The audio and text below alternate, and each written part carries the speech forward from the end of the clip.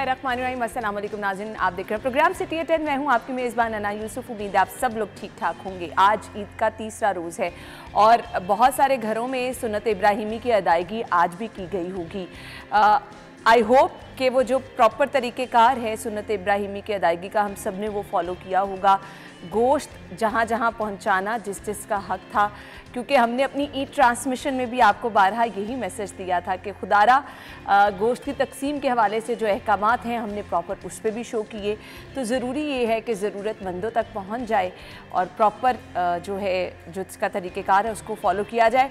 चलें जी, दुआ ये है कि अल्लाह ताली हम सब की सुनत इब्राहिमी की अदायगी कबूल फरमाए और हर घर में पकवान भी पके होंगे, ईद इंजॉय भी की गई होगी। मौसम भी हमने देखा कि बारिशें और मिला जुला मौसम भी रहा। सो आपने ईद अच्छी इंजॉय की होगी और आज तीसरे दिन भी मेहमानों की आमद का सिलसिला जारी रहता है।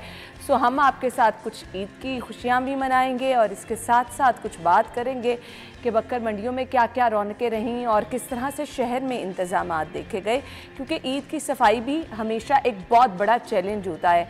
आ, तीन दिन क्योंकि आपके पास वेस्ट मैनेजमेंट उसको ठिकाने लगाना और लोगों की रिस्पॉन्सिबिलिटी ये होती है हमने बहुत सारे लोगों को गैर जिम्मेदाराना रवैया अपनाते देखा है कि घरों से अपनी आलाइशें उठा के इवन जो बैग दिए गए होते हैं उसमें भी नहीं गली के नुक्कर में फेंक देते हैं।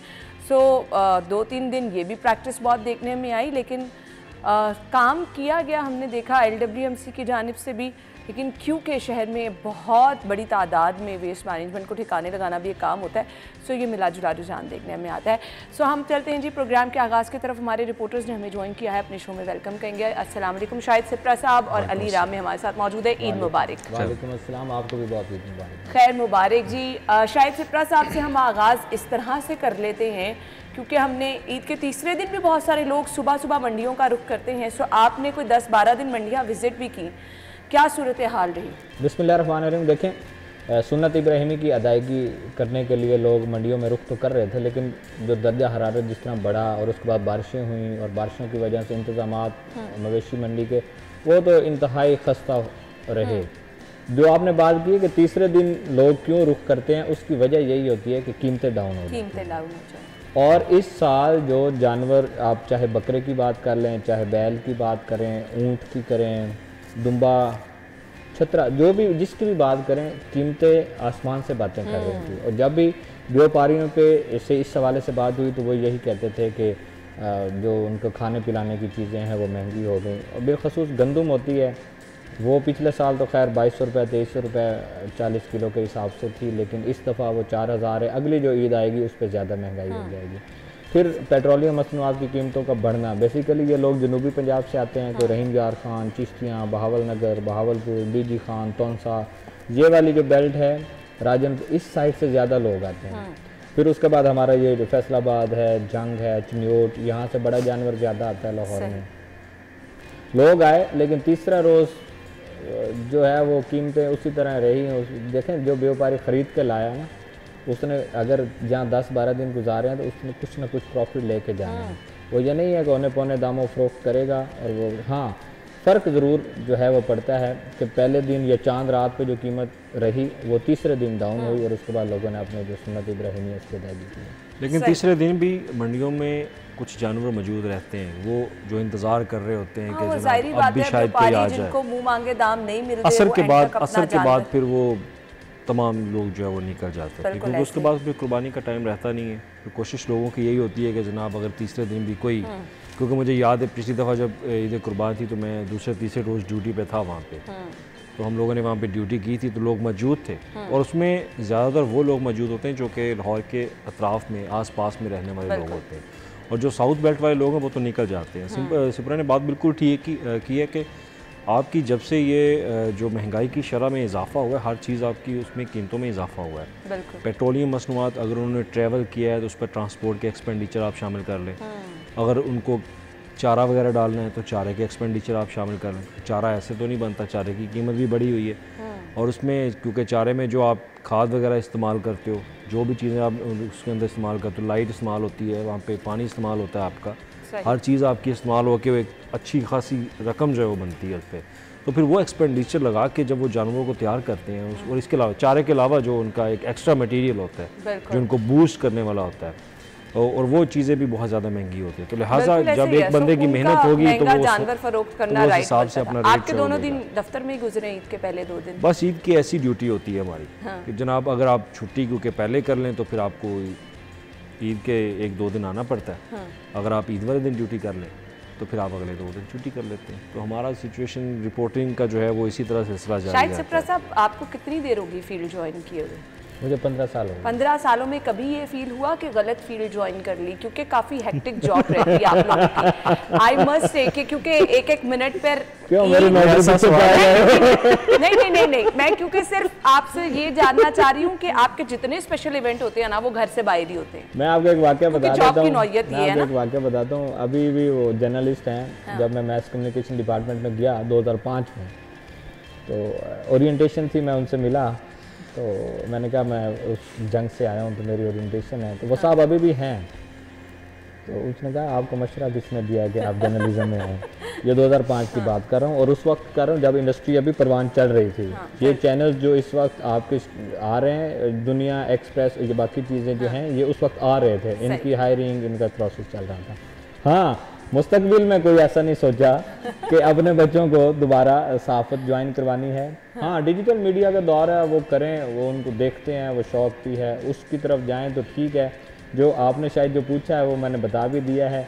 आपको समझ भी आ गई मैं क्या कहने वाला हूँ। लेकिन अल्लाह ताला का लाख लाख शुक्र अदा करना चाहिए कि देखें इंसान आता कुछ करने के लिए होता कुछ है। बिल्कुल ऐसे और फिर जहाँ पे आपको अल्लाह ताला रिस्क दे और जहाँ पे आपका रिस्क लिखा हो वो होता है। इसी इदारे में मैंने सीखा भी इसी इदारे से और इसी इदारे में पंद्रह साल गुजार दिए तो कुछ तो वजूहत हैं और माशाल्लाह एक नाम भी है पूरे शहर में हमारी जितनी टीम है सबको लोग जानते भी हैं सबका अपनी अपनी बीट में एक नाम है। ये सिर्फ़ सिर्फ़ लाइटर नोट पे बात करने का मकसद ये था कि हमारी लाइफ ये है कि आपके जितने स्पेशल इवेंट्स होते हैं ना वो आपको डबल ड्यूटी करनी पड़ती है। अली ऐसे ही है।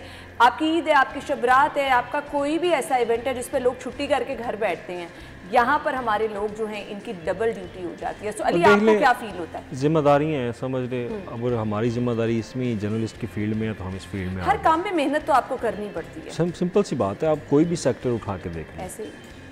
आप पुलिस का सेक्टर उठा के देखें हम्म। पुलिस वाले भी तो ड्यूटी पे है नहीं ट्रैफ़िक वार्डन डॉक्टर्स को उठा डॉक्टर्स भी ड्यूटी पे रेस्क्यू को ले लें रेस्क्यू के लोग भी ड्यूटी पे मौजूद हैं। तो ये हमारे कुछ शोबे ऐसे हैं जहाँ पे हमें स्पेशल जो इवेंट्स होते हैं हम उनको नज़रअंदाज कर, हम्म, कर, करना पड़ता है। हमारी मजबूरी होती है। क्योंकि ये वही इवेंट्स होते हैं जिसके बारे में हम लोगों ने आगाह करना होता है लोगों हम्म। को। अगर हम लोग ही मौजूद नहीं होंगे तो फिर कौन देखेगा देखे ना स्क्रीन ने तो 24 घंटे चलना है। और फिर तो ट्रांसमिशन भी चलनी है। लोगों ने देखनी है। ईद पे क्या टीवी पे देखेंगे? तो हम नहीं बैठेंगे तो देखेंगे। अगर हम लोग करोड़ों लोगों के लिए भी तो हम लोग बैठते हैं ना। और दूसरा जिस तरह इमरजेंसी ड्यूटीज़ को बता रहे हैं वो इसी तरह होती है। हाँ गवर्नमेंट सेक्टर में मेरे भी बहन भाई हैं जब वो नोटिफिकेशन हुआ दो दिन का मुझे बड़ी खुशी हुई लेकिन जब तीसरा दिन ऐड हुआ लेकिन फिर मायूसी हुई है। कि दो दिन ठीक था चलो मैं भी उनके साथ कहीं एडजस्ट हो जाऊँगा हाँ। लेकिन जब उनको बुद्ध की छुट्टी हो गई तो वो फिर मेरे रेंज से निकल ये एक बड़ी चीज़ होती है। ये ये वाकई नोट होता है कि हाँ। जब किसी गवर्नमेंट सेक्टर को या प्राइवेट सेक्टर जो कि गवर्नमेंट के मुताबिक अपनी छुट्टियों का ऐलान करते हैं तो आपके अंदर एक पोजेसिव हाँ, वो आप फील करते हो आप तजस्सुस हाँ। से यार इस बंदे को क्यों इतनी छुट्टियाँ मिल रही है? मतलब हमें इतनी छुट्टियाँ नहीं मिलती हाँ। वो एक चीज़ वाकई गैप आता है क्योंकि आपने गेट टुगेदर होना होता है। हुई तनख्वाहों में जो पैंतीस फ़ीसद इजाफा हुआ मैंने कहा सही है सरकारी मुलाजमीन को तो अच्छा साथ साथ सारा कुछ। ये आप किसी तो, सरकारी मुलाजिम से पूछेंगे तो फिर आपको बताएगा कि ये इजाफा कितना है उनके हाँ, उन लोगों के लिए तो। क्योंकि उनकी जो पहले भी हम खबरों में डिस्कस कर चुके हैं कि उनकी डिमांड ये होती है कि रनिंग बेसिक पे के ऊपर अगर हाँ, सैलरी बढ़े तो उनको फ़ायदा है। अनिशियल पे एज सच को इतना इंक्रीज़ उनको नहीं मिलता। हम्म। तो वैसे भी पंजाब गवर्नमेंट में क्योंकि पाँच फ़ीसद इन्होंने कम किया हुआ है तो वो इतने भी खुश नहीं है। पेंशन के ऊपर आपने बिल्कुल पाँच फ़ीसद बढ़ा दी है। और आपने ए टी से ऊपर आपने कहा है कि जनाब बीस फ़ीसद बढ़ा से तो बेहतर आप अपना तो बताएँ आपकी कैसे गुजरी? आप गुड्स ट्रांसपोर्ट उस वक्त बंद हो जाती है। आपने कैसे गुजारी? ड्राइवर्स कहाँ गए कि चलती रही? अपना तो बताएँ। वो सब तो चलता रहता है लेकिन ईद का आपको पता खवातीन का ज़्यादा टाइम घर में गुजरता है और खाने शाने बन के गुजरता है। मैंने पूछा वो मैं ईद के पहले दिन यहाँ अच्छा कभी कुर्बानी के गोश्त को खुद साफ़ किए? नहीं वो नहीं किया क्यों? वो मुझे लगता है घर में बड़े ही सारा ये वाला काम कर लेते हैं तो वो मेरी ज़िम्मेदारी थोड़ी इस काम में। फ़िलहाल कम आप अभी छोटी नहीं अल्लाह ताला मेरी सासू माँ को सलामत रखे उनकी ये ज़िम्मेदारी है वो ये वाले सारे काम करती आयशा सुन रही है क्या कह रही है? ये सारे काम वो करती है। ये तो आंटी भी सुन रही है ना कि ये क्या कह रही है। तो अब कोशिश हमारी उनसे हमारी उनसे अपील होगी कि एक दफ़ा ये ट्राई ज़रूर करवाए हम्म। कि जो भी कुर्बानी का गोश्त अगर अभी भी पड़ा हुआ कुछ बनाने वाला या साफ़ करने वाला तो वो आपसे साफ़ जो है वो नहीं अब तीसरा बना लूँगी साफ़ करवाने वाला आपने क्या बनाया? आज आज भी मैं ड्यूटी पे हूँ मैं पहले दिन भी ड्यूटी पे थी। तो हाँ, वो तो फिर थोड़ा सा मुझे ये एज मिल जाता है कि मुझे काम थोड़ा घर का काम करना पड़ता है क्योंकि दफ्तर का काम करना होता है। आप लोग मेरे से इंटरव्यू ना करें मैंने आपसे बातें करनी है। अभी तो फ़िलहाल कुछ नहीं बनाया लेकिन अब नहीं। कल का दिन छुट्टी का आ जाएगा मैं बना असल मसला आप लोग तो मेरे घर वालों को मेरे खिलाफ कराएँगे अगर सफ़ाई नहीं ना की इसका मतलब कुछ नहीं। अच्छे में मान बिठा लिए मेरे घर वालों को मेरे खिलाफ कराएँगे। खैर हम वापस आ जाते हैं पॉइंट पर।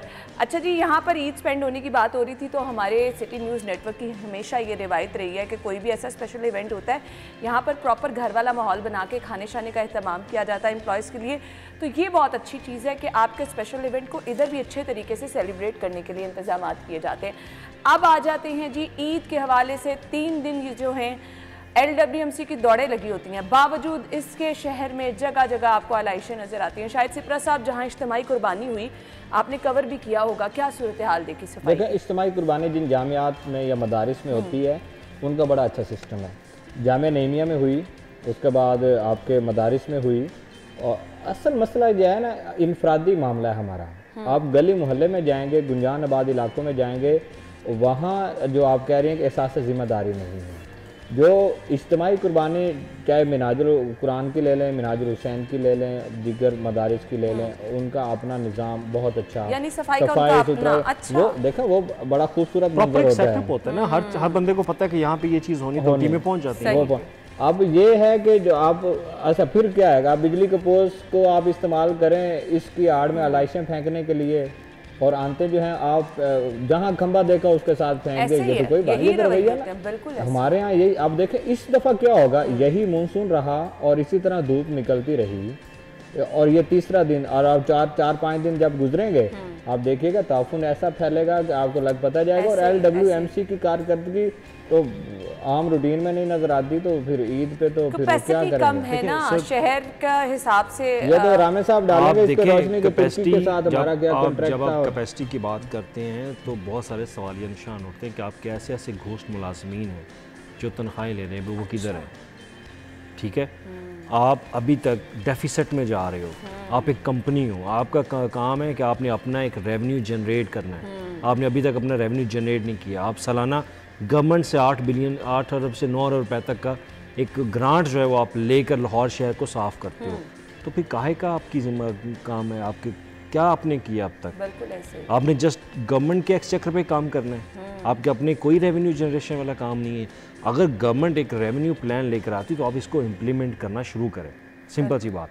और जहाँ तक बात है ना ईद कुर्बान के ऊपर पहली ज़िम्मेदारी हमारी होती है। बिल्कुल हम आम शहरियों की ज़िम्मेदारी है हाँ, लोग अपने घर से लाइशें उठा के गली के नुक्कर पे exactly. इवन आप जो डब्बा मौजूद होता है वहाँ तक जाने भी जाने की भी कोई पहली ज़िम्मेदारी हमारी है कि हमने जो एक गवर्नमेंट की तरफ़ से या एल की तरफ़ से आए रोज़ उनकी तरफ़ से कंपेन जो है वो की गई।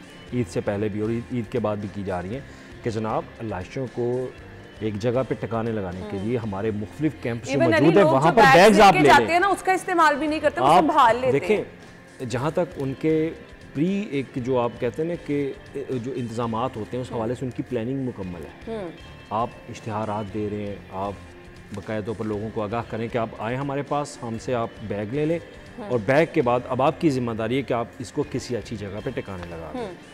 ठीक है। अगर आपने कोई ज़्यादा मसला आता है जो बड़े जानवर किए होते हैं ना इनकी अलाइशें टिकाने लगाने पे बहुत इशू आता है। छोटे जो जानवर हैं उनकी अलाइशें तो जो उन्होंने एक बैग बनाया हुआ है वो उसके अंदर आ जाती हैं और वो अपनी जगह पे बड़ी जो अच्छी अच्छी सोसाइटी है वहाँ पर तो वो चीज़ें टिकाने लगा देते हैं। हम्म। ये ज़्यादा आता है जो पसमानदा एरियाज़ हैं लाहौर के अंदर। हम्म। कौन सा अब आप है उसमें? सब्जादार भी उसमें शामिल है।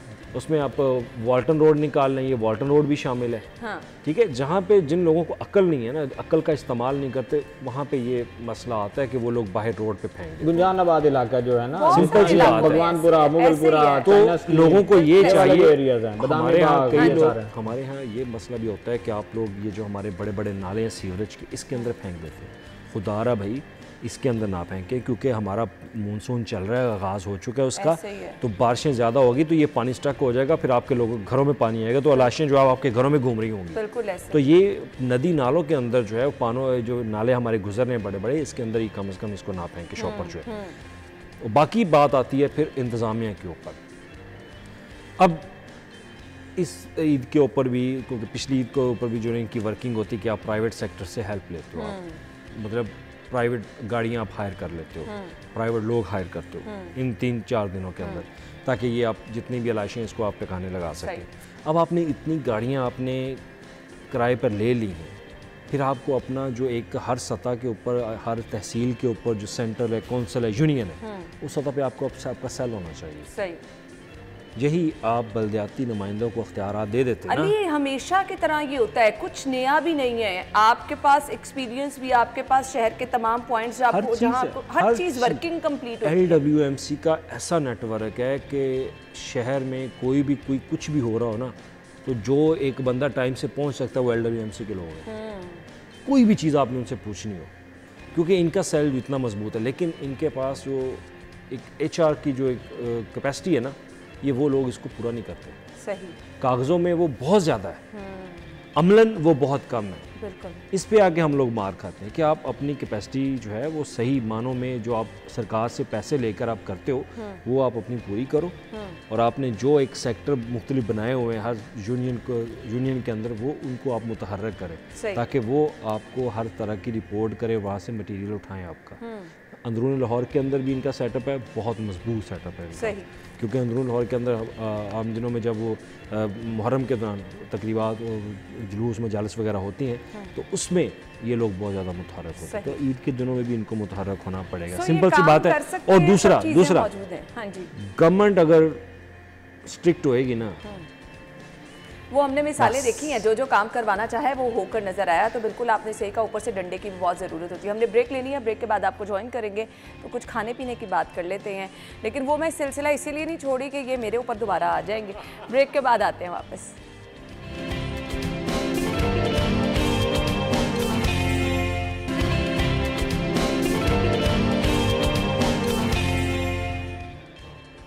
खुश आमदीद एक बार फिर से कहेंगे। सो so, अब हम बढ़ते हैं। जी कुछ खाने पीने की बात कर लेते हैं। शहर में सफ़ाई इंतज़ाम की भी बात होगी शायद सिप्रा साहब खाने पीने के शौकीन हैं। बहुत ज़्यादा। खाने पीने का शौकीन ना हो। पूछ रही हूँ फिटनेस भी तो उन्होंने के कोई भी गो मीट जो आप मीट की डिश है ना गोश्त की डिश आप इस बंदे से पूछ लें कि क्या कौन सी बोटी खाने वाली लाहौरी वैसे नॉर्मली इस तरह के खाबों के शौकीन होते हैं शायद सिप्रा साहब देखें जितना हर बंदा में हो गया हर बंदा हर बंदा गोश्त खाता है। हाँ। बोटी कौन सी खाने वाली है वो इससे क्योंकि तो ये बंदा आपने ये ये बंदा ये बंदा डिस्ट्रीब्यूशन के ऊपर जो है वो मुनहसर नहीं करता। हाँ। ये बंदा सिर्फ़ देख के ऊपर खड़े होने वाले को मुनहसर करता है कि जनाब यहाँ से मुझे यानी ये इसलिए कहते हैं कि कोई ना भेती भी नहीं होना चाहिए। नहीं, नहीं, आप टेबल पे रख दें टेबल वाला नहीं पसंद आएगा अगर उसमें मर्ज़ी से ना निकले। इन्होंने खुद जाना है देग वाले के पास या हांडी के पास। अपनी मर्ज़ी की बोटी निकाल। और फिर अगले को बताएगा क्योंकि मुझे भी मुझे तजर्बा है ना। हाँ। मुझे कहेगा ये बोटी खा ये ये छोड़ दे इसको मैंने नहीं का शौकीन राम ने मेरे पीछे होना है। अगर आप अपने साथ साथ अच्छा खाना मेरे लिए भी मिल जाएगा। अगर आप सिप्रा के साथ आपकी कंपनी है और अगर तो आप किसी इवेंट पे चले गए हो किसी दावत पे चले गए हो तो तो आपने सिप्रा से पूछना है कि भाई क्या खाना है यहाँ पे? ये आपको बताएगा कि ये ये चीज़ खाना देखो सही। अपना तो असूल है मैं तो हमेशा कहता हूँ कि मटन कोरमा हो और मटन पुलाव हो वो देख दे नाल ही बह के खाने की चाहते ओ कितने नहीं वो डिश है आ गए ठंडा हो गया स्वाद ही बिगड़ जाए बिल्कुल। तो वो ये बात कर रहे हैं और बाकी मैं शौकीन हूँ इसमें कोई शक नहीं है। हर हर बंदा शौकीन होता हाँ, है लेकिन लेकिन आपकी चॉइस होती है हाँ, आपने। आपने लेकिन कुछ लोग खाने पीने में थोड़ा सा हाथ भी खींच के रखते हैं। आजकल आपको पता मौसम भी कुछ ऐसा है। ईद पे स्पेशल क्या हाँ, फरमाइश अगर ईद पे हाथ खींचना तो कोई फ़ायदा? और डॉक्टर डॉक्टर ना बिल्कुल। परहेज करने हाँ। वाले भी वैसे जो होते हैं ना वो ईद पे क्योंकि आपने स्पेशल खाने भी बनाए होते हैं जहाँ कहीं जाते हैं वहाँ पे भी स्पेशल देखें मेरी बात सुने जो ईद होती है ना हमारे यहाँ सबसे बड़ा मसला ये है कि लोग वो कलेजी से स्टार्ट हो जाते हाँ। हैं हालाँकि हमारे यहाँ हमारे यहाँ घर में ये नहीं होता कलेजी से स्टार्ट नहीं होता। उसको ज़रा अच्छे तरीके से ना कोई यखनी कोई हरी मिर्च में कोई काली मिर्च में कोई इस तरह की अब बने। मुझे अंदाज़ा हो रहा है तो मैं दोनों सीधा कही हैं। सीधा हाँ वो जो आपने कलेजी खा लेनी है और उसके बाद तो वो फिर उसके बाद भूख ही नहीं लगती। वैसे भी है, गरम गरम गोश्त हुआ होता है हाँ। कुर्बानी उसकी हुई होती है तो आप फौरी जाके जब बनाते हो ना तो फिर उसको खाने को इतना दिल नहीं करता। फिर यखनी पुलाव बनाओ साथ आप में उसको रायता थोड़ा सा टाइम दे के टाइम दे के आहिस्ता आहिस्ता खाना शुरू कुर्बानी का गोश्त वैसे कुछ लोग कम पसंद करते हैं ऐसा तो कोई इशू नहीं है आप दोनों के साथ हमारे यहाँ देखो नहीं मैं नहीं, मैं भी- हमारे यहाँ ये होता है कि हम रोज की तरफ़ भी चले जाते हैं। मैं अभी बड़ा अभी आ जाएँगे इश्तेहार आ जाएँगे बैनर्स लग जाएँगे कि रान रोस्ट करवाएँ फलां कुर्बानी का गोश्त हल्का फुल्का खाना चाहिए भाई आपने ज़्यादा भी खाना है? वो और तरीके से खाना है। ये रोस्ट अब कितना पूरा साल होता है रेस्टोरेंट्स में जाएँ जिस तरह की मर्ज़ी डिशेस खाएँ।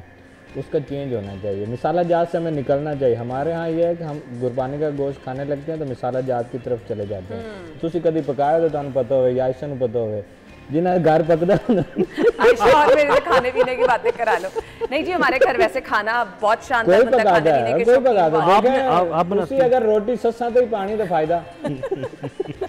ना ले आगे की शायद चित्रा आप क्यों मेरी तरफ़ आई जा आज का रोटी वैसे खाना बना लेती वैसे मैं खाना बना तीसरा दिन है पका लो नहीं वैसे मैं खाना बना लेती हूँ लेकिन हूँ तो सामने बारी काम आती है ये तो शादी से पहले होता है ना हाँ भाई बना लेती है कि नहीं वो तो पुरानी बात होगी लेती वाली आप बताओ बनाया शाही सिप्रा साहब मैं कभी इंशाल्लाह आपको मधु करूँगी अपने घर अच्छा खाना आपको चाय भी बना लेती हूँ नाश्ता भी अली मैं खाना भी बना लेती हूँ और इंशाल्लाह आप लोगों को अगर आप अच्छा अंडा प्याज बनाना आता है। देखो जरा नहीं अब ईद पे गोश्त की बात हो रही है आपको गोश्त खिलाऊँगी। ये भी गोश्त बना के खिलाऊँगी, की के है। नहीं नहीं रहने दें आप आगे आप आगे बात ईद ही मैं मुझे कहता है गाँव पे मैंने कहा मैं ईद पढ़ के आया हूँ नाश्ता करने के आज मैं नाश्ता कर ला तो लस्सी मक्खन ना का पराठा। कहना मेरे लिए भुजिया बनवा दे। ईद वाले दिन ये खाने। अच्छा अरे मुझे वाइंड अप आयशा करने का कह रही हैं खाने पीने के शौकीन अफराद कुछ ना कुछ बनाना भी जानते हैं तो कुछ बनाना जानते हैं आप या नहीं? नहीं ये वो नहीं जानता अली। नमकीन गोश्त। नमकीन गोश्त बना लेते हैं। नमकीन गोश्त लाजमी ट्राई करें। ठीक। अगर आपके पास बड़ा जानवर है ना छोटा नहीं बड़ा जानवर। बड़ा जानवर के आप अपने हिस्से का जो आपके अपने हिस्से में आता है उसके बड़े बड़े पीस बनाएँ। बड़े बड़े पीस बना के फिर आप कहीं भी चेक कर लें कि नमकीन गोश्त की जो रेसिपी वो क्या है उस रेसिपी के मुताबिक उसको बनाएँ। और कम से कम एक मेरे ख्याल तीन चार पाँच घंटे का एक प्रोसेस है वो। वो प्रोसेस गुजरने के बाद जब आप नमकीन गोश्त खाएँगे ना वो आपकी तबीयत को भी कुछ नहीं कहेगा हाँ हाँ। ना आपको हैवी होने देगा। सुकून से खाएँ मज़ेदार सी डिप या सॉसेज आप साथ लें और वो एक दफ़ा लाजमी ट्राई करें। चलें आप रोस्ट करके खाते हैं आप टिक्के बना के खाएँ जो दिल का कहते हैं। लेकिन तो नमकीन गोश्त जिनके पास बड़ा जानवर है जिन्होंने बड़ा जानवर किया वो नमकीन गोश्त लाजमी चलें जी अली की आपने ये रेसिपी ज़रूर ट्राई करनी है और आप लोग अच्छी तरह से ईद इंजॉय करें खाने शाने खाएँ अपनी सेहत का भी ख्याल रखें और मैं इंशाल्लाह मैं खाना पेंडिंग रहेगा इंशाल्लाह। आपने हमें तस्वीर भेजनी जब आप कोई चीज़ खाना बनाएँ। ईद के ऊपर ईद खास मौके गई है ना कि तो फ़ोटो भेज। नहीं अभी कल की छुट्टी है ना वो एंजॉय करेंगे हम। थैंक यू सो मच नाजिन आपको ज्वाइन करेंगे एक ब्रेक के बाद।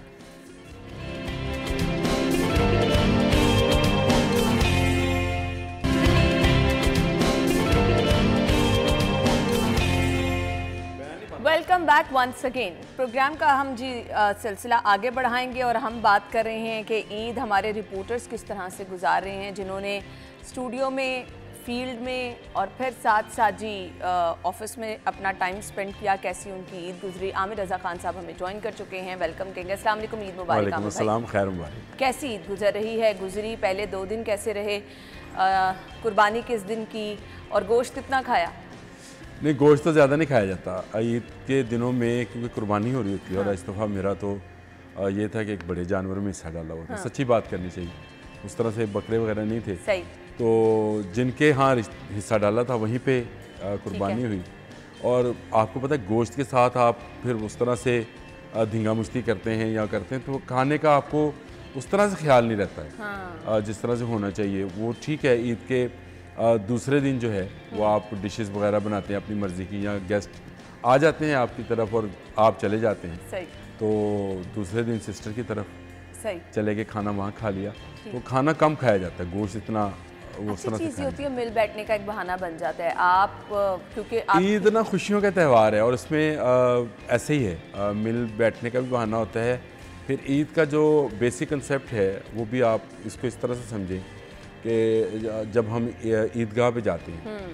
तो आपके इर्द गिर्द के लोग आपके मोहल्ले के लोग जिनका आप महीनों हम लोग तो नहीं पूछ पाते सुबह को निकले रात को चले गए उनसे मुलाकात हो जाती है कुछ आ, उन लोगों से गले मिल लिया जाता है तो जो गिले शिकवे होते हैं हाँ। आ, आपके मोहल्ले में गिले शिकवे गोश्त कम ज़्यादा देने की वजह से भी हो जाते हैं फैमिलीज़ में आपको पता है नहीं नहीं होते हैं आमिर भाई होते हैं फला कहता है कि उसके घर गोश्त ज़्यादा भेज दिया हमारे घर कम भेज दिया शुक्र अलहमदिल्ला के इस तरह से नहीं था कि हाँ। गिला शिकवा गोश्त का हो किसी हाँ। को पहली बात तो ये है कि मैंने क्योंकि कुर्बानी अपने ससुराल में करनी थी हाँ।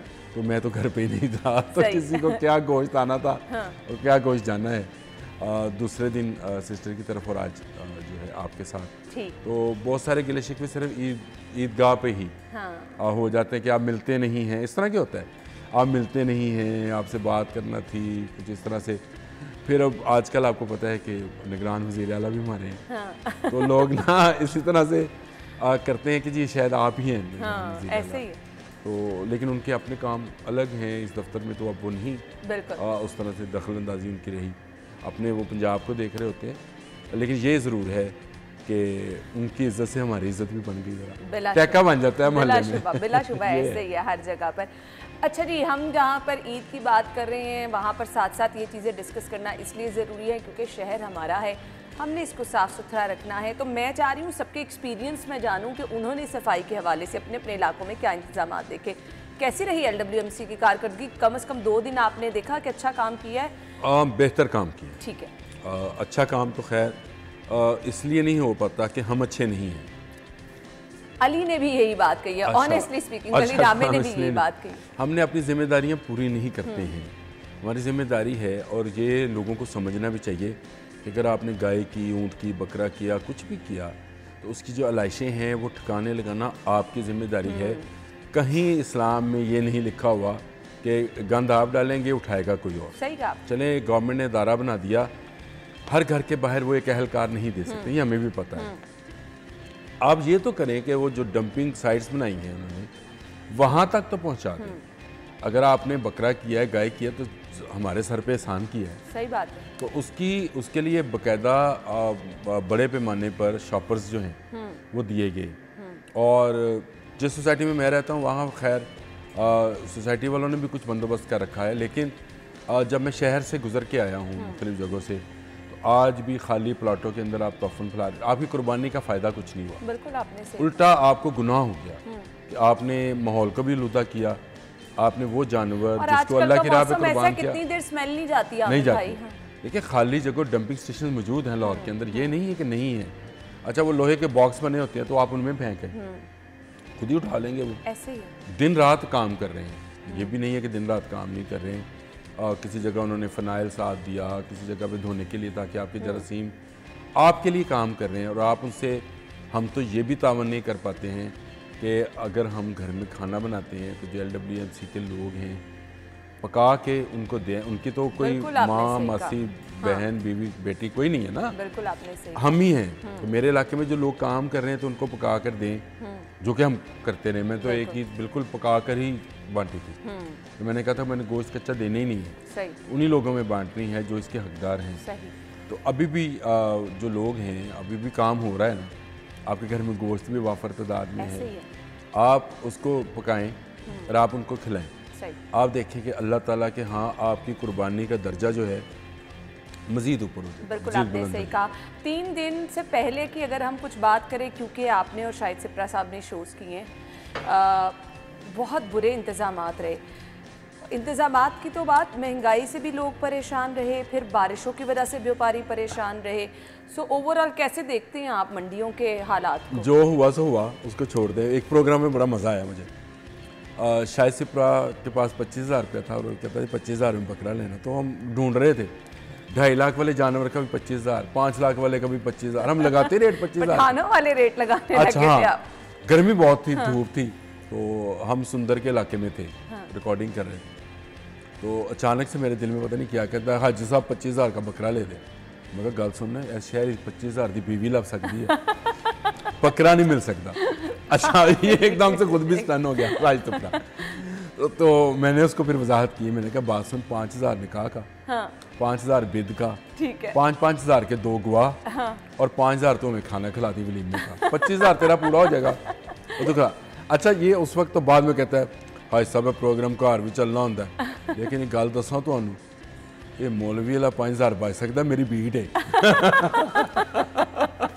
यानी उन्होंने वो भी पैसे बचा तो लिए इस वैसे तरह का भी शुगल मतलब अब ए, एक जगह पे हम वो सरगोदा से आया हुआ था बंदा वो बेचारा ले ले लेके आया था अभी बिका भी कुछ नहीं था तो वो अपने दुख भी बयान कर रहा था साथ साथ हम भी उसको कह रहे थे तो शाही सिपरा के अब पच्चीस हजार शाही सिपरा का है हाँ मैंने उसको लगा दिया ले लेगा पच्चीस हजार अच्छा तो शाही सिपरा क्या कहता है ਇਹ ਅੱਜ ਸਾਹਿਬ ਤੁਸੀਂ ਜ਼ਿਆਦਤੀ पे करते देखो 25000 ਦਾ है अच्छा मैं अब मेरे लिए बड़ा मुश्किल था उस सूरत हाल का संभालना तो ये इस प्रोग्राम की खूबसूरती इतनी है अच्छा वो बंदा भी साथ उसको तो एक मिल गया अच्छा वो मुझे कह रहे तू मेरा मजाक कर रहे हैं पता नहीं वो इस तरह की बातें कर तो शायद सिपरा कहता हाँ हाँ जी साहब तुम बड़ी ज्यादती की अच्छा मैं क्या पच्चीस हजार तेरा है मैं तो लैके देने वाला बकरा दे। बिल्कुल तू ऐसे ही। बस कम कर इस तरह की बहुत सारी यानी आप लोगों ने खूब खूब इंजॉय खुद भी किया लाहौरियों को भी कराया और हमें फीडबैक भी पता चला कि आपके शो का बहुत अच्छा है। ये जितनी अफरा तफरी हुई हुई है ना लोग चाहते हैं कुछ ऐसी एंटरटेनमेंट अच्छा इसमें ये भी है। शायद सिपरा के साथ होने का एक और फ़ायदा भी है हमें। आ, इसको ना जानवरों की पहचान भी है। हाँ बिल्कुल आपने ये ये बड़ा आपको ना सिर्फ़ जानवरों की अभी जो गोश्त की पहचान वो बता गए खाने पीने में कि कौन कौन सी बोटी उन्होंने खानी है मैं तो वो भी सुन के परेशान वो खा रहा होगा? हाँ। शाहपुर कांजरा में हम थे तो आ, दो शरीफ लोग ना बकरा खरीदने के लिए आए हुए थे। हाँ, अब बकरा वो तीन साल पुराना था यानी वो उसके छह दांत हो गए हुए थे। सही। और वो उनको बेच रहा था दो दांत का करके। अच्छा। और उनको दिखा भी रहा था। अब शायद सिपरा जो है उन्होंने कह दिया कहते छिग गए अब उस पर वो गर्म हो गया। अब जब गर्म हो गया तो शायद सिपरा साइड पे हो गया। अब वो मेरे साथ यानी उनको उसको पकड़ के आपके गले में डाल दिया। अब मैंने कहा ये छिग गया भाई मैं खुद देख नहीं जी तुम मेरा गाह खराब कर रहे हो। वो इस तरह की बातें करने लगा। आपको पता होता नहीं ये शहर के लोगों को और इस तरह। अब शायद सिपरा का भी देहाती बैकग्राउंड है तो पता तो होता है और हमें भी इतने साल हो गए कुर्बानी का जानवर लेते हुए। ज़ाहिर बात है। तो ये छोटी छोटी पहचान जो हैं ये हो जाती हैं। लेकिन अ, शहरियों से मेरा इल्तमास है कि गो के कुछ ऐड शैड मैंने देखे चलते हुए कि बच्चों को कुर्बानी के लिए जानवर खरीदने के लिए ना लेकर जाएँ। हाँ। देखिए जो अब हम अपने वालद के साथ अपने ताया के साथ अपने मामू के साथ जाया करते थे उस दौर का एक्सपीरियंस आज भी हमें है। कौन सा जानवर लेना चाहिए? क्या उसके शरीय ऐप चेक करने चाहिए? वो है। तो ये इस तरह की जो चीज़ें हैं ये बड़ी ज़बरदस्त होनी पता होनी चाहिए, दूसरा मंडियों का प्रोग्राम क्योंकि हमने पिछले दो तीन साल तो नहीं किया था। हाँ, कोरोना की वजह से नहीं किया मैं हॉस्पिटल में था। आ, लेकिन आ, इसके साथ बड़ी यादें इसके साथ बड़े मज़े मज़े की चीज़ें हो जाती हैं। ऊँट के हवाले से बहुत सारी चीज़ें जो देखी। और ये चुलबुला सा प्रोग्राम होता है। तो हम उसमें ये करते हैं कि लोगों को इन्फॉर्मेशन भी मिले किस हाँ। मंडी में क्या रेट है। कम रेट कहाँ है ज़्यादा रेट कहाँ है? एक ने तो अथरा जानवर नहीं कभी आपके सामने आया जिससे आप भी डर गए हों? और रिकॉर्डिंग के दौरान कुछ ऐसा हुआ? क्योंकि हम ऑफ़ कैमरा जो चीज़ें हो रही होती हैं या एडिटिंग में बहुत सारी ऐसी चीज़ें मेरा ना भी देते हैं। मेरा ना अट्ठाईसवां साल है जर्नलिज्म के अंदर। हाँ। अट्ठाईस साल हो गए। मैंने बड़े बड़े सियासी अथरे जानवर जर्नलिस्टों के सामने आकर बिल्ली बनते देखे हैं। भीगी बिल्ली वो भी। कोई बड़ी वाली बिल्ली नहीं। तो ये क्या चीज़ है? वो ये सबसे खतरनाक जो जानवर वो जर्नलिस्ट खुद होता है। तो इससे बचते हैं लोग ये नहीं बचता किसी से। ये पकड़ लेता है। आ, यानी आज आपने ईद वाले दिन भी कहा कि छोड़ना नहीं है। नहीं नहीं छोड़ना क्या? है इशारा कर दिया आपने। आपने पूछा तो मैं इशारा कर दिया आपने। मैं ये भी बता सकता था। कि इंतज़ाम बड़े हाँ। ख़राब हैं लेकिन उस, अ, अब वो गुजर गया ओवरऑल तो हम दिखाते ही रहे रिक्वेस्ट। मैं ज़रूर हाँ। करूँगा गवर्नमेंट ऑफ़ पंजाब से और हमारे जो जितने भी कमिश्नर हैं डिप्टी कमिश्नर्स हैं एसीज हैं ये चंद दिन के मेहमान आते हैं लाहौर हम्म, ये भी और इनके मालकान भी बिल्कुल चंद दिनों के लिए इनको जितनी अच्छी फैसिलिटी आप प्रोवाइड कर सकते हैं हाँ। करें और अगर आप नहीं कर सकते तो भाई आप जिसको ये ठेके देते हैं हाँ। उसको कहो कि ये ये चीज़ें ये one two three four five seven list होएगी। हाँ। इस लिस्ट के मुताबिक यानी चौबीस घंटे जानवर के लिए पानी ज़रूरी है। चारा जो है चले वो तो एक महँगा बिकना और बात है। लेकिन पानी होना बड़ा ज़रूरी है। आ, ये ऐसी चीज़ें हैं ये तो बुनियादी ज़रूरतें हैं और इनके आपने दावे भी किए लेकिन क्या अब आज के दिन हम ये चीज़ें देखें आपको पूरा हम आठ दस दिन जो है यही कुछ दिखाते रहे हैं। तो मेरे ख्याल से हमें चीज़ों को दोबारा रिपीट नहीं करना चाहिए इनसे सीखने की ज़रूरत है। Thank you so much Aamir भाई बहुत बहुत शुक्रिया। आई होप आपकी ईद अच्छी गुजरी होगी आगे भी अच्छी गुजरेगी। खाने शाने खाएँ ईद को भरपूर तरीके से इन्जॉय करें जी।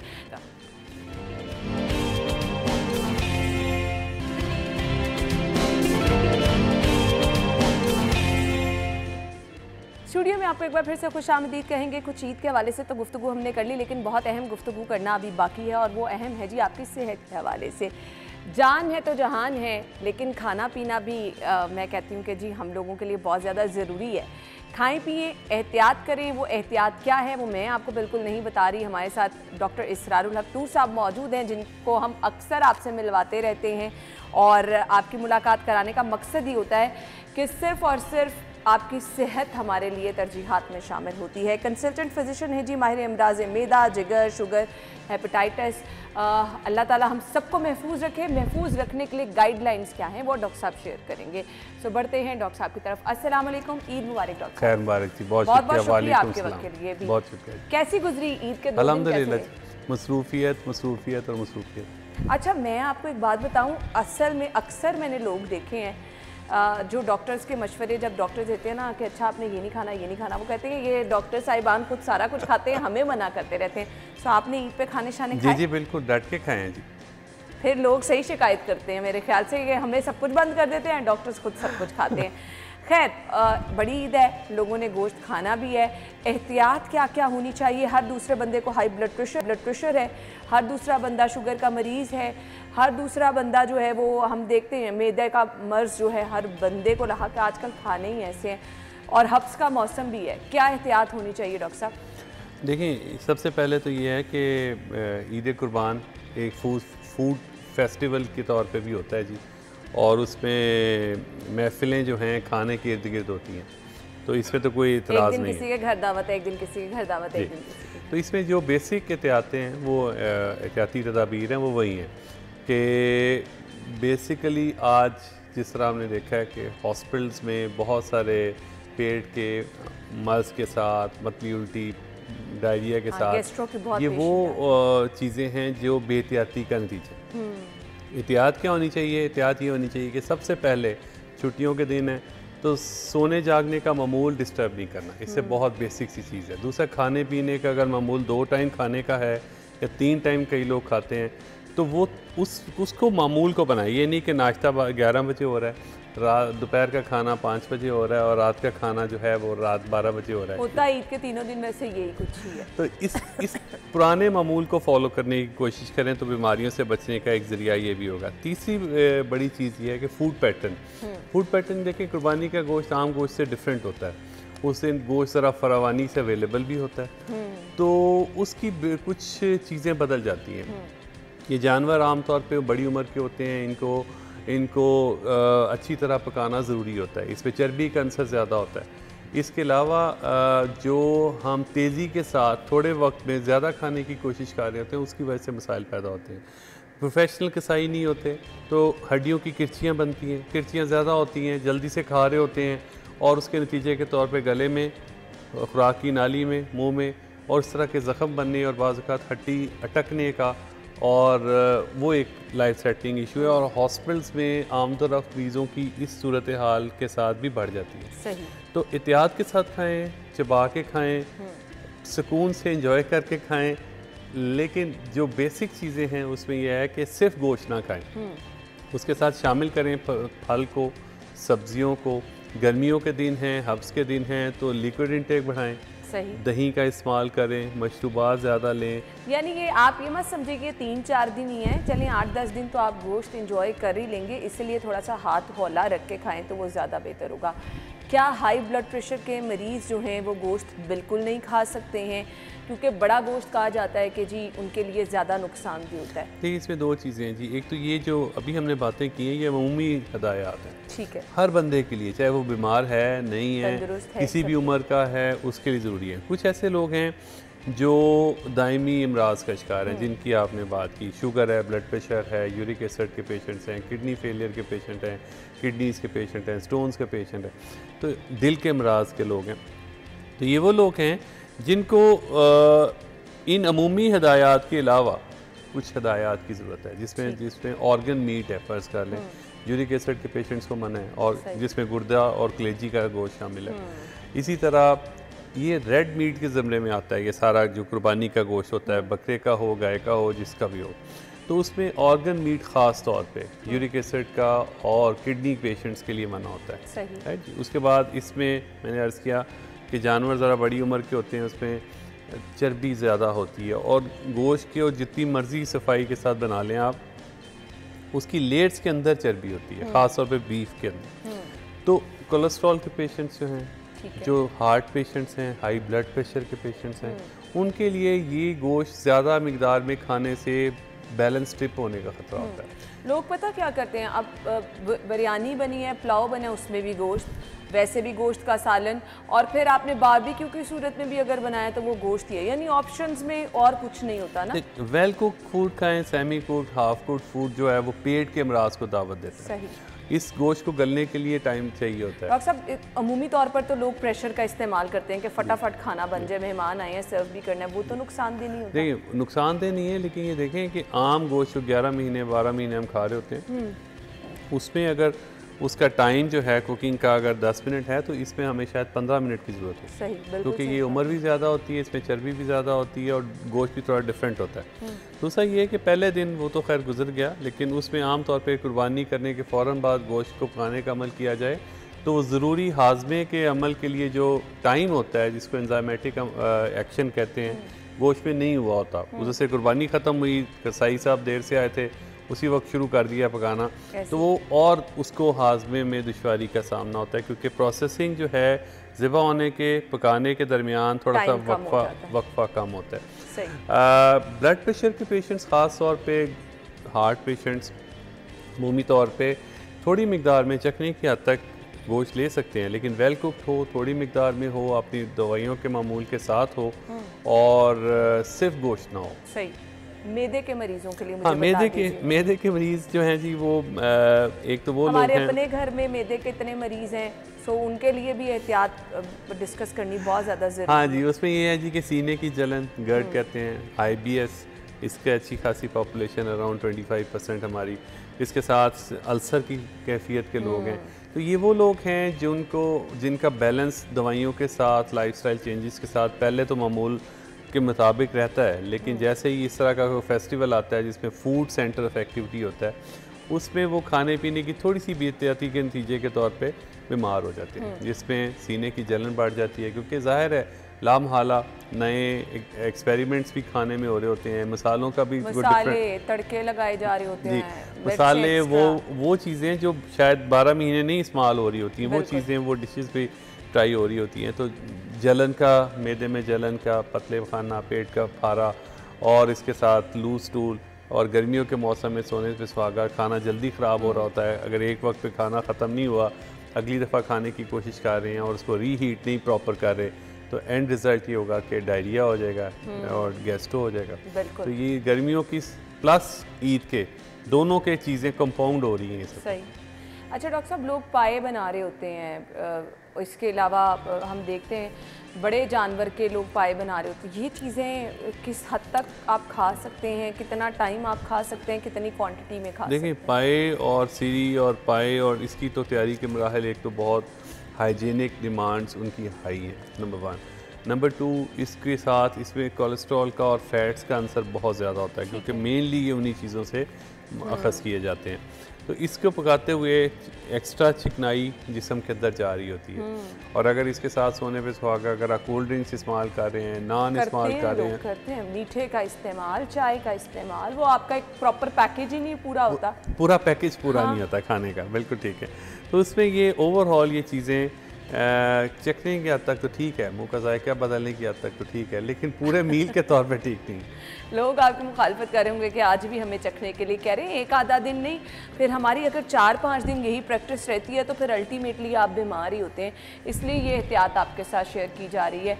डॉक्टर साहब घी बहुत ज़्यादा ऑयल बहुत ज़्यादा हम अपने खानों में इस्तेमाल करते हैं। कुर्बानी का गोश्त खुला होता है और इसको हम बनाते भी फिर दिल खोल के ही हैं। डब्बे के मसाले लोग इस्तेमाल करते हैं खुले मसाले भी घर वाले डालते हैं।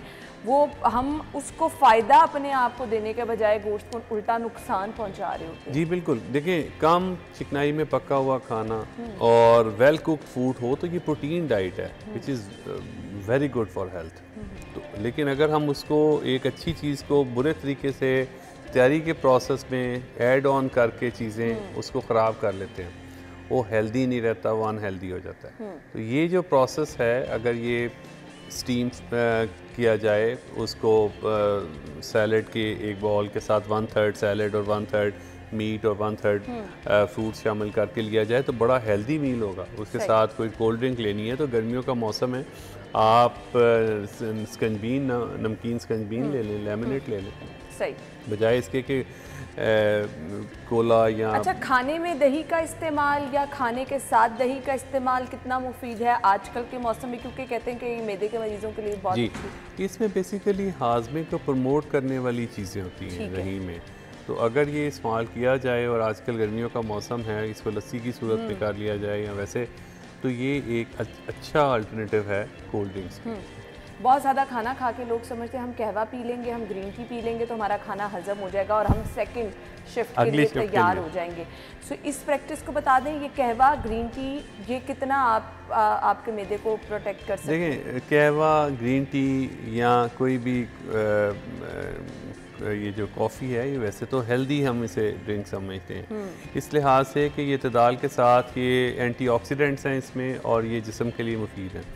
लेकिन हर चीज़ की एक्सेस बुरी है। मतलब आप बहुत हॉट लिक्विड लेते हैं हम्म। बहुत ठंडी कोई भी चीज़ लें रिगार्डलेस ऑफ़ द उसका कंटेंट हम्म। क्या है तो इंटरनल लाइनिंग जो खुराक की नाली और मैदे की इंटरनल लाइनिंग है उसको थर्मल इंजरी से वो दुशार करती है। तो वो थर्मल इंजरी जो है इट्सल्फ जो है वो एक जलन और सोजिश का बायस हो सकती है। इसलिए इतदाल के साथ ये चीज़ें सारी ठीक हैं। कहवा भी ठीक है लेकिन इसको ये ये प्रोसेस इस हाजमे के प्रोसेस को बढ़ाने के लिए नहीं हम्म। वैसे ओवरऑल सेहत अफसा नॉर्मली लोगों को ये लगता है ना जितना मर्ज़ी खा लें आप एक लेमन और कहवा ले लें तो बस फिर आप मज़ीद भी खा सकते हैं। खैर ये सब चीज़ें डिस्कस करने का मकसद ये है कि आप अपने फ़ूड को इंजॉय करें मीट को इंजॉय करें लेकिन अतदाल के साथ खाएँ सेहतमंद रहें ताकि ज़्यादा देर तक आप खाने को इंजॉय कर सकें। मैसेज क्या देना चाहेंगे डॉक्टर साहब देखने मैसेज यही है जी कि फ़ूड ज़रूर लें। और इतदाल के साथ लें साफ़ खाना खाएँ साफ़ पानी पीने की कोशिश करें और अपने डेली मामूल को उसको फॉलो करते हुए अगर आप खाएँगे इतदाल के साथ तो सेहतमंद रहेंगे बजाय इसके कि इस ईद पे आप खाते खाते हॉस्पिटल में डॉक्टर्स के पास पहुँच नहीं जी बड़ी ईद है इसकी खुशियाँ बड़ी होनी चाहिए। आ, बड़े मसाइल से अगर आपने बचना है तो खाने पीने में आपको एहतियात करनी होगी। बहुत शुक्रिया डॉक्टर साहब आपने जो गाइडलाइन जारी की आई होप लोग इस पर अमल भी करेंगे और वो हाथ खोला रख के खाएँगे। Thank you so much Nazin break के बाद आपको ज्वाइन करेंगे।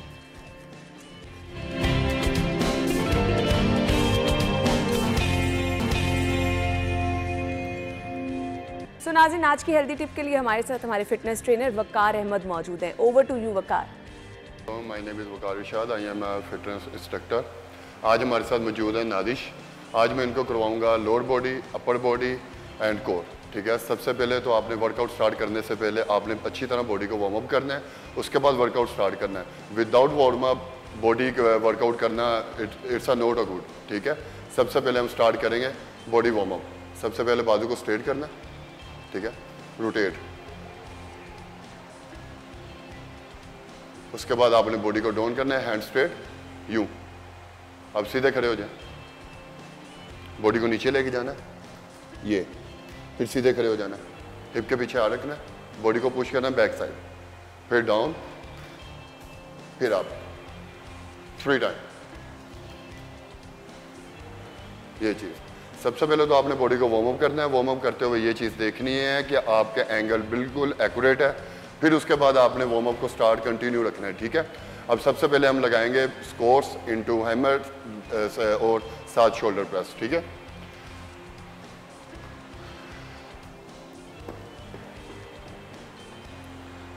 वेट पकड़ने, पकड़ सबसे पहले आपने लगाने scores one two stand up then hammer then shoulder press one फिर सेम वैसे लगाना फिर नीचे जाना डाउन फिर अप फिर हैमर फिर शोल्डर प्रेस ये आपने थ्री टाइम करना है। ठीक है?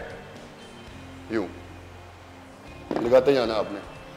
ये लगाते हुए आपने ख़ास तौर पे देखना है कि अगर तो आपके पास घर पे मौजूद है वेट तो फिर आप इसको घर पे कर सकते हैं। अगर आपके पास वेट घर पे मौजूद नहीं है तो आपको इसके लिए जिम ज्वाइन करना पड़ेगा, ठीक है? इसको लगाते हुए आपने अपना सबसे पहले बॉडी पोस्चर देखना बॉडी पोस्चर ठीक है, फिर उसके बाद आपने इस साइड को कंटिन्यू करना। पाँव को सीधे रखना, बिल्कुल स्ट्रेट पाँव पाँव को सीधे करें, बिल्कुल। अब नीचे स्लो जाना। चलें। स्लोली डाउन स्लोली आप देन हैमर फिर शोल्डर प्रेस ये आपने थ्री टाइम करना है ट्वेल्व रेपिटेशन करने हैं, हर सेट में, ठीक है? ओके डन अब नीचे रख दें वेट को। अब इसके बाद आपको मैं बताऊँगा कि कोर अपना बॉडी वेट को कैसे यूज़ करके आपने कैटल वेल स्विन को लगाना है, ठीक है? कैटल वेल स्विन ले लीजिए ना। पड़ी हुई आपके पास, चले। सबसे पहले आपने सीधे खड़े होना है, पाँव की वी शेप बनानी है। स्पोर्ट्स करने हैं सबसे पहले। फिर देन पुश करना है कैटल वेल स्विन को। वन फिर स्लोली डाउन फिर टू थ्री आपने ट्वेल्व रेपटिशन लगाने हैं थ्री सेट करने हैं। इससे, इसे लगाने से आपका बॉडी वेट और बॉडी एंगल दोनों चीज़ें आपने मैटर करती हैं, ठीक है? इसको लगाते हुए आपने ये दोनों चीज़ें चेक करनी है कि आप ठीक लगा रहे हैं कि नहीं। अगर तो आपके पास इंस्ट्रक्टर मौजूद है तो फिर उसका फोकस होना चाहिए। अगर तो आप खुद लगा रहे हैं तो आपको प्रॉपर यूट्यूब से वीडियो देखकर फिर इसको लगाना चाहिए। इसको लगाते हुए इस चीज़ का ख्याल रखना है कि जड़क नहीं देना ज़्यादा बॉडी को, ठीक है? स्लोली स्लोली लगाना है, ठीक है? ओके डन छोड़ दें अब मैं आपको बताऊँगा कोर वर्कआउट जो कि आजकल का इशू है। हम सबका कि कोर कैसे कम किया जाए। जो लोग कहते हैं कि सब कुछ खाते जाएँ और आपका वेट कम हो जाएगा, ये सबसे बड़ा झूठ है। ऐसा पॉसिबल नहीं है। विदाउट डाइट कोई भी चीज़ पॉसिबल नहीं है। ये मैं वो वर्कआउट बताने जा रहा हूँ, जो आप घर पे भी कर सकते हैं। अगर आप जिम ज्वाइन करते हैं, वो तो वेल एंड गुड है। ठीक है? सबसे पहले आपने इस चीज़ को देखना है। स्टैंडिंग पोजिशन करनी है हैंड रेस करनी है। उसके बाद आपने लगाना स्टार क्रंच वन टू आपने ये लगाते हो इस चीज़ का खास ख्याल रखना है कि जब लेग रेस करनी है हैंड पुश करना है तो आपने जेल करना है। वन टू थ्री ये आपने ट्वेल्व ट्वेल्व रेपिटेशन लगाने हैं इस साइड में, ठीक है? बॉडी पोस्चर को आपने सीधा रखना है। आपने ये चीज़ लाजमी देखनी है कि जब आप वर्कआउट करें कि आपका एंगल बिल्कुल ठीक है। अगर तो आपका एंगल ठीक नहीं है तो आपका मसल हिट नहीं होगा, आपको रिज़ल्ट नहीं मिलेंगे, ठीक है? ट्वेल्व ट्वेल्व इस साइड ओके डन इसके बाद आपने लगाना है अपर बॉडी ठीक है? शोल्डर प्रेस उसमें आपने लगाने हैं पंचिंग स्टैंडिंग पोजीशन में, ठीक है? सबसे पहले आपने खड़े होना है, उसके बाद आपने चेयर पोजीशन बनानी, उसके साथ लगाने punching one two three four twelve twelve sir हाँ पाँव वी बनाए सबसे पहले पाँव की, पाँव खोलें थोड़े से। अब बॉडी को आपने सीधा रखना, बस ये। अब ऊपर की तरफ़ पुश करना है पंचिंग पोजीशन में, ये। ये एक्सरसाइज ऐसी एक्सरसाइज है, इसमें आपके अपर बॉडी के rear delt front rear delt और साइड ये तीनों चीज़ें आपकी हिट होंगी इसमें। ट्वेल्व ट्वेल्व ईस्ट साइड थोड़ा सा इसको डाउन करो। ऐसे। ओके डन आप नीचे रख दें वेट को। अब आपको मैं बताने जा रहा हूँ बॉडी वेट यानी कि साइड स्टेप्स वो आपने कैसे करने क्योंकि ये इजी एक्सरसाइज आप घर पे इसको कर सकते हैं। जो फीमेल हैं, जिनका ज़्यादा बॉडी वेट है, वो इसको घर पे कर सकते हैं।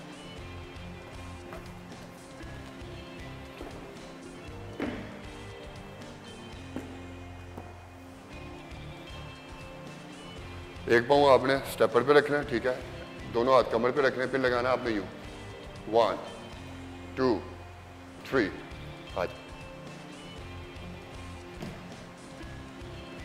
ये सबसे इजी एक्सरसाइज है और इसके बेनिफिट ज़्यादा हैं।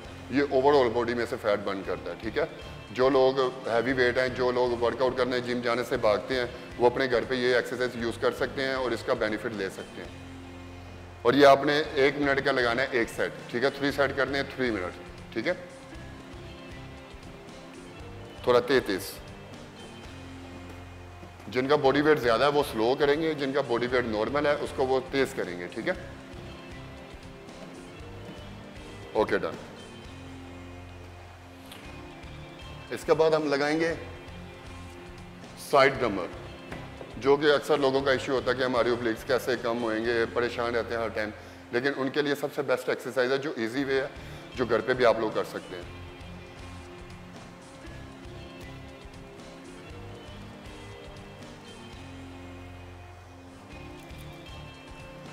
सबसे पहले आपने सीधे खड़े हो जाना।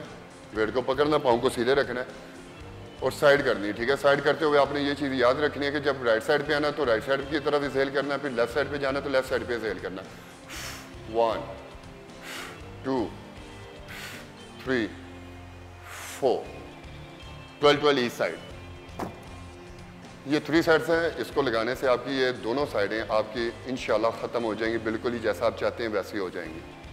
और ये सबसे अच्छी एक्सरसाइज है ओब्लिक्स की, ये साइड्स की। ओके डन अब मैं आपको बताने जा रहा हूँ कि प्लैंक पोजिशन में बटरफ्लाई किक्स कैसे करते हैं, ये भी हमारी साइड्स की एक्सरसाइज है और बहुत ही बेनिफिट है इस एक्सरसाइज की और बहुत ही अच्छी एक्सरसाइज है ये।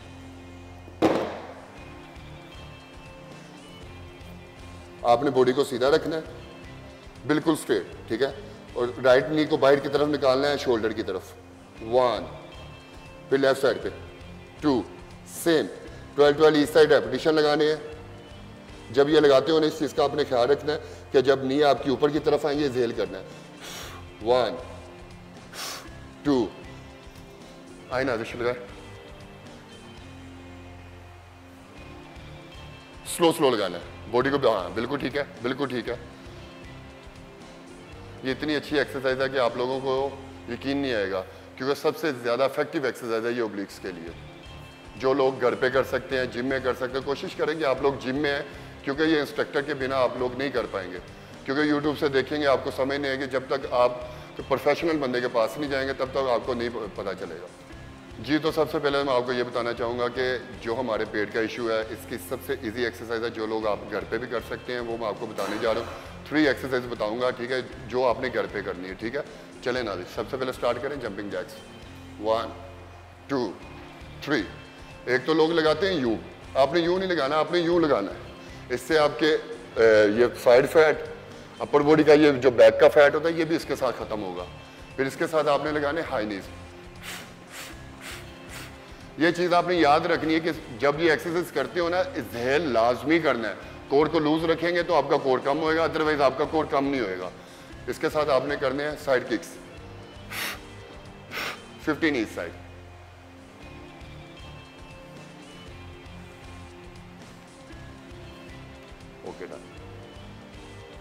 आज के लिए हमारे पास टाइम शोर था तो इसके लिए हमें जितना बोला गया था हमने उतना वर्कआउट आपको बता दिया कि इंशाल्लाह ताला आपको नेक्स्ट वीडियो में आपको अच्छे से अच्छा वर्कआउट बताने की कोशिश so करेंगे। वकार। आपका बहुत बहुत शुक्रिया। सो आप घर की एक्सरसाइज कर सकते हैं। हमें फीडबैक ज़रूर दीजिएगा ताकि हम वकार से मज़ीद भी इस तरह के टिप्स लेते रहें। So once again thank you so much Waqar. हम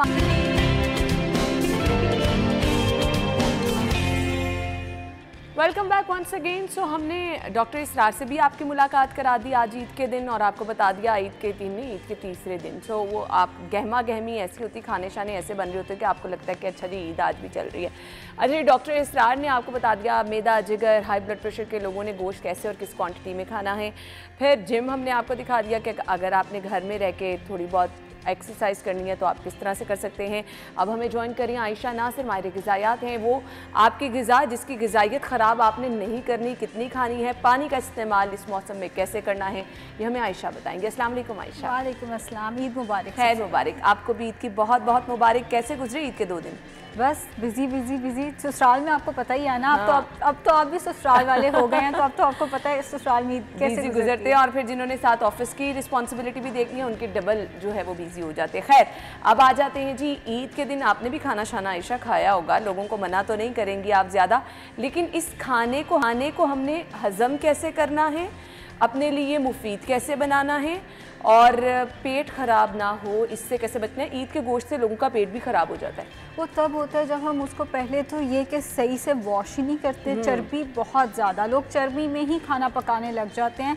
और फिर हम उसको सही से कुक नहीं करते हाँ। अब सही से कुक करने से मुराद ये अगर आपको गोश्त के अंदर खून नज़र आ रहा है हम्म। हड्डियों पे खून लगा हुआ है इट मीन्स के गोश्त सही से पका नहीं है और हम्म। इस दफ़ा ईद से पहले बारिशें भी हुई हैं अच्छी खासी ईद से पहले बारिश हुई है विच मीन्स के कहीं ना कहीं वो बरसात मानसून वाला टच हाँ, भी ईद के साथ आ रहा है उसमें अगर आप चीज़ों को सही से स्टोर नहीं करेंगे फ्रिज में उनका स्टोरेज सही नहीं है इलेक्ट्रिसिटी का तो मसला रहता ही है हम्म। हमारे मुल्क के अंदर स्टोरेज सही नहीं होगा तो पेट तो डेफिनेटली ख़राब होगा अब जो आपने पूछा कि ईद का गोश्त कैसे खाना चाहिए खाते हम सब हैं हम्म। लेकिन मॉड्रेशन के अंदर प्लीज़ मॉड्रेशन से मुरादिया ये मैं मना नहीं कर रही कि आपने ईद का गोश्त नहीं खाना मैं कह रही हूँ खाओ लेकिन कम से कम ऑयल में बना के चर्बी में नहीं बनाना कम से कम ऑयल में बनाकर उसको बाहर किचन में बहुत देर नहीं पड़े रहने देना। ठीक है। पका लिया तो उसको फिर फ्रिज में रखते हैं ताकि वो पड़े पड़े हाँ पड़े पड़े कम अज़ कम ज़ाया ना हो बिकॉज़ हम लोग थक तो हम खातन जाते हैं ना हम सुबह सुबह बना के रखते हैं उसको बस वो जो जिसका दिल करे जाओ जाके किचन से गर्म करके खा लो।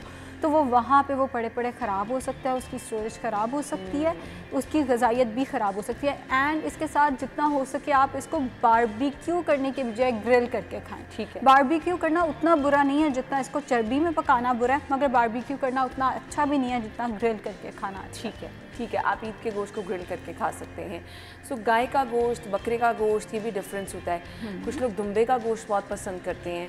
सो so, मुझे ये बता दें कि लेस नुकसान हमें किसमें है? बहुत ज़्यादा चिकनाई वाला गोश्त तो ऑब्वियसली परेशान करे। अच्छा अना अगर सच बताऊँ ना तो सच ये है कि आप तीनों में से कोई खा सकते हैं हथेली के बराबर। अब ये है सच वो मुश्किल है ये मैं भी मानती हूँ कि वो करना मुश्किल है बस फिर यही है कि जो उसके ऊपर चर्बी नज़र आती है आपको वो हटा दें और उसमें कोई सब्ज़ी ऐड कर दें हम्म। अगर हो सके तो ले जी आप ईद के दिन तो ये ना कहें क्योंकि यहाँ पे मैंने पहले भी डिस्कस किया हाँ। पुलाव बिरयानी उसमें भी गोश्त सालन में भी गोश्त और फिर बारबेक्यू की फॉर्म में भी गोश्त और इवन लोग सैलेड में भी डाल देते हैं आयशा। हाँ मीठे में बस बस नहीं चलता हाँ, वहाँ पे भी गोश्त हम डाल दें। तो बहरहाल अगर तो आपने बेस्ट फॉर्म में लेना है उसके साथ सब्ज़ी ऐड कर दें नहीं कर सकते तो कम अज़ कम इतना कर लें कि खाना खाने के बाद एक चुटकी सौंफ दो छोटी इलायची जिसको कार्डमम कहते हैं। और एक डंडी पूरी लेके पुदीने की अच्छे से वॉश करके इसको उबाल लें और इसका कहवा बनाकर आफ्टर एवरी मील ले लेना ये आपको डाइजेशन में हेल्प करेगा ये कोई जादुई ड्रिंक नहीं है भाई हाँ। कि आपने मनो मन गोश्त खा लिया तो इससे हाँ, आपके कि आयशा ने कहा था कि आप अच्छा खासा गोश्त हाँ। खा के ये खा पी लेंगे तो आपको जो है वो हाजमे में मदद हो जाएगी लेकिन ये आप कर लेंगे तो आपका खाना हजम हो जाएगा अच्छा मुझे ये बता दें पानी बहुत प्यास लगती है हम्म। आप जब कुर्बानी का खाना कोई गोश्त खा लें क्योंकि हम मसालों का इस्तेमाल भी ऐसे करते हैं।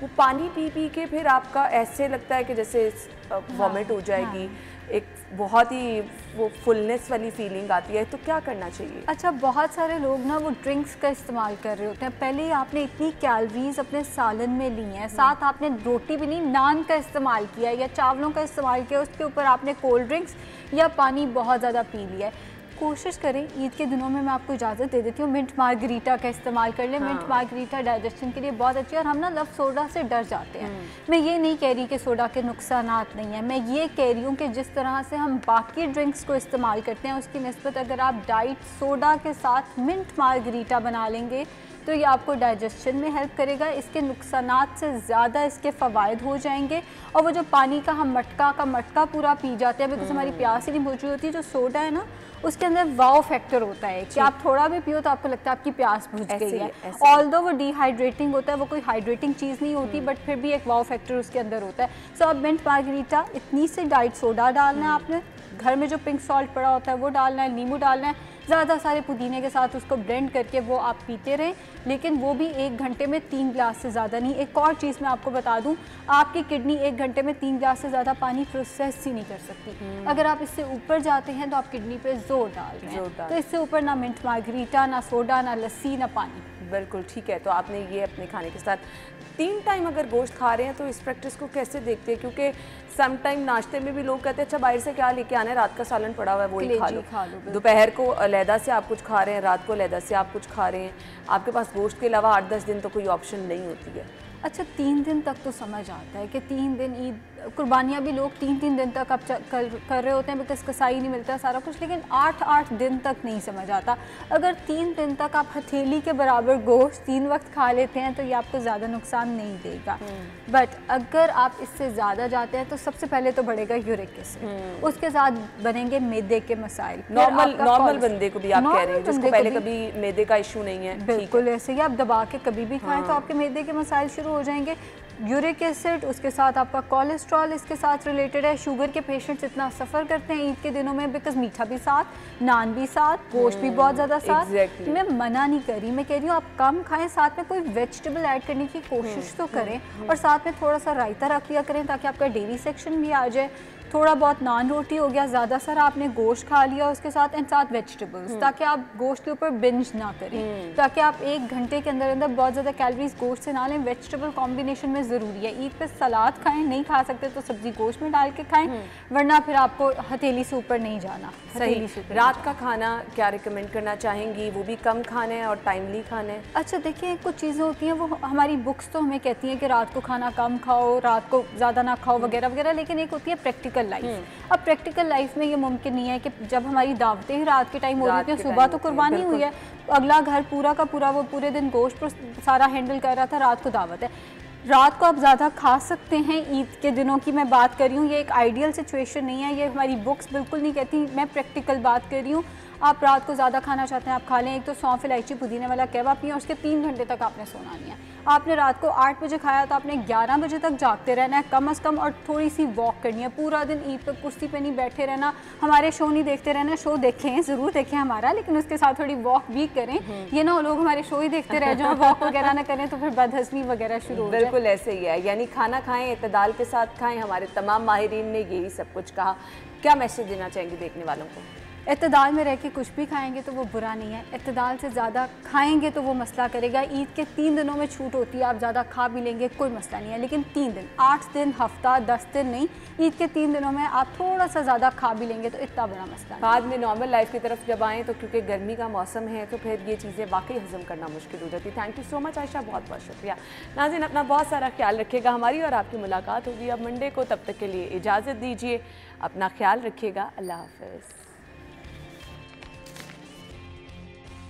Bye.